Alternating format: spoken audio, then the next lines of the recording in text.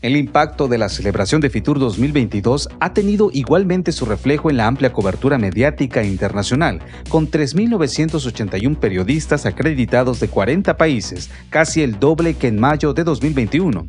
También se ha duplicado el impacto de los canales en redes sociales, con más de 6 millones de impresiones y 90.000 interacciones con los perfiles de la feria, resultado de los 1.200 posts publicados en sus canales para la retransmisión del evento.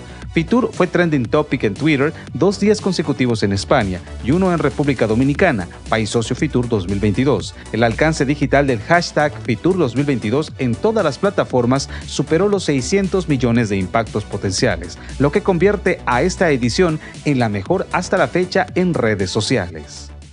¿Cómo se siente estar en Fitur 2022? Buenísimo, muy bueno, porque el año pasado ha sido muy malo y ahora está, esto está creciendo, está como la fénix renacida. Sí, sí, sí. ¿Y cómo la pasó eh, Algarve y en general Portugal durante la pandemia? Durante la pandemia como los restantes destinos turísticos, ¿no?